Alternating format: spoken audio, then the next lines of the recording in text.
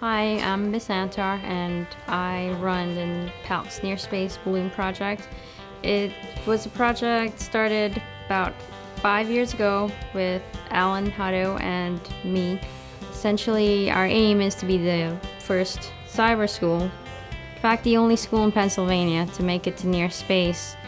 This year, with the help of certain teachers from PALCS and the New Jersey Battle Crew Amateur Radio Club, we were able to do a fourth launch.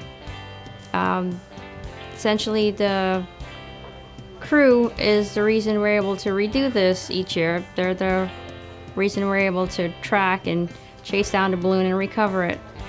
They volunteer their time and their equipment, and they've donated quite a bit to the experiment, and the project couldn't happen without them. The payload, essentially a styrofoam box. Previous years, so we've had scientific equipment on to measure things like UV rays and barometer, temperature, light. The range for near space would be between 60,000 feet to 100,000 feet. So in, within a couple hours, if it had reached in that range, we would have gotten to see the curve of the Earth. So onboard equipment on the payload this time around, we just had, I included two cameras, one to get the curvature if we made it within the 60,000 feet to 100,000 feet. A beacon that was programmed in Morse code to say NJ2BB and PALCS project.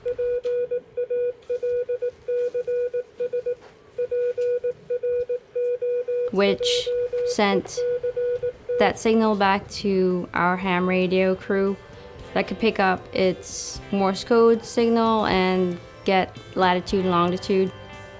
An APRS system which sent other information like altitude, also helped pinpoint its location a little better, helped put it on a map that the crew had that we're able to track without help of the internet or something like Google Maps to pinpoint exactly where the balloon was at any point in time. And to keep it warm, I included as many heat packs as I could. Last time we tried this launch, we lost signal, and that was because the equipment just got too cold and it stopped sending a signal. So when it landed, it landed in a tree. And for a day, we didn't know where it was just because it was too cold. So once it warmed up, once it returned to Earth, it started sending out packets of Morse code again, and we were able to track it down and recover it. Ed, part of the recovery crew from the Jersey Battleship Club, every year makes some of his own equipment to add to the payload so that we could track it better. This year, he included a covering for the beacon, something to keep it warmer. It was it's about the size of a stamp with two wires coming out of it essentially, and it, when when it's plugged in, it gives out Morse code packets. So Ed was kind enough to turn those wires into extend it into a vertical antenna, which essentially is just putting straws on the end. And he made a box for the beacon that was strapped to the outside that got added to the lid. The antennas we just vertically added to the outside.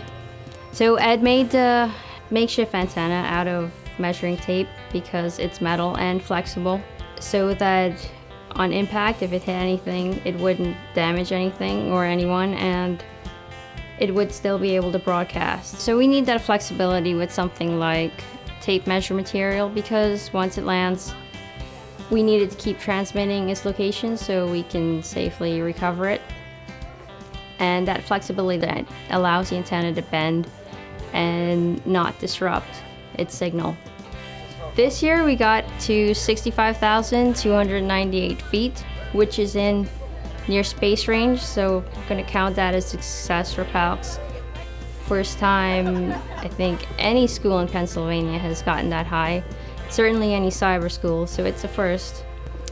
This year it landed in a field near the Pennsylvania-Maryland border.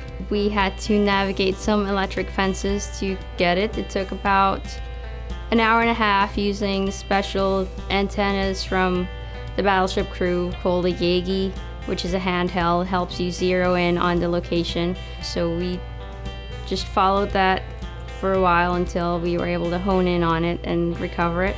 So successful launch, successful recovery, uh, and I'm hoping to repeat that again in the fall of this year. As always, we'd love to get family participation in this project, so please stay tuned for announcements. We'd love to see you come out for the balloon launch in the fall.